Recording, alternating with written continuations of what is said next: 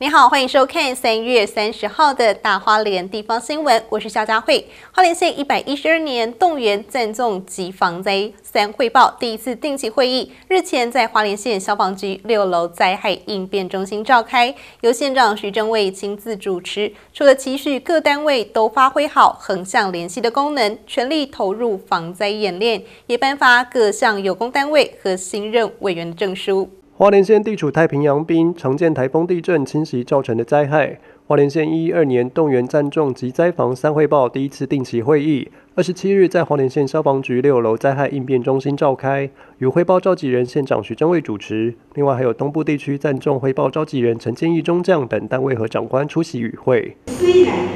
啊这是一个演练，但是啊不是无之不来，而是无由而来之。我们要。在平时就准备好模拟训练之后，如果真的需要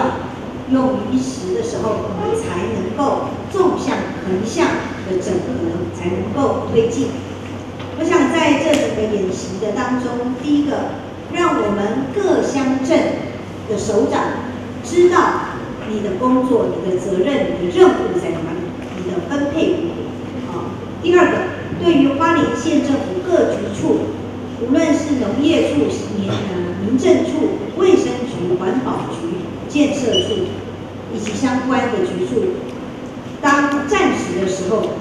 我们各分组的职责在哪里？除了定期召开会议，也针对基本战力调查、物力调查及签证作业、后备军人等作为会议报告内容重点。另外，也颁发各项有功单位、新任委员、专家咨询委员聘书，期盼各单位发挥横向联系功能，落实防灾准备，全面强化救灾、离灾、防灾工作，将灾损减至最低，保障乡亲生命财产安全，做好万全准备，应应不时之需。记者蒋邦彦、黄林诗报道。